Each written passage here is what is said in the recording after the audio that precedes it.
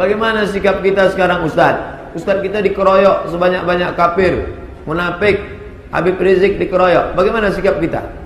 Yang sanggup menumpahkan darah untuk Habib Rizik, birruh wadam. Habib Rizik dibunuh, kami siap sumpah darah.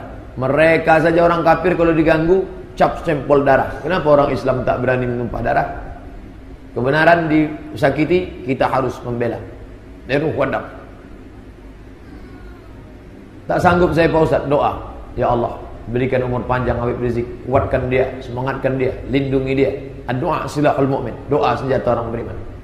Berdoa pun tak mau, parah betul, tipis betul pergaulan.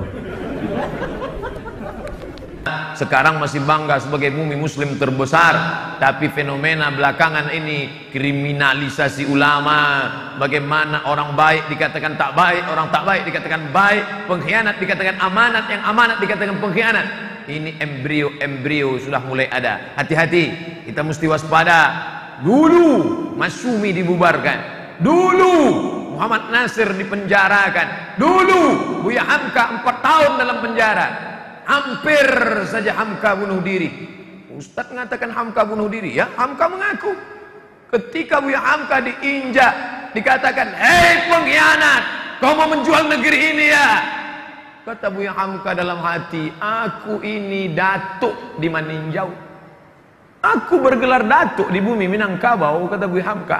Dalam bidang agama aku bergelar Buya, doktor, profesor, doktor Hamka. Kenapa aku dihinakan seperti ini? Buya Hamka melihat ke tepi dinding nampaknya pisau silet.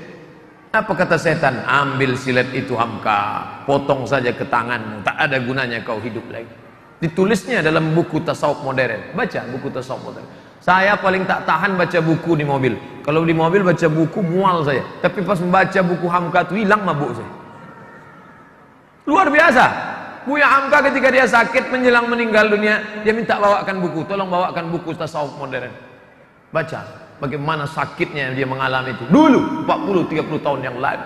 Sejarah berulang, musim berganti. Dunia ini isinya itu-itu saja.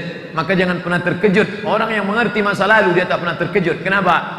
Panggung sandiwara, stage, hari berganti musim berubah, isinya itu-itu saja.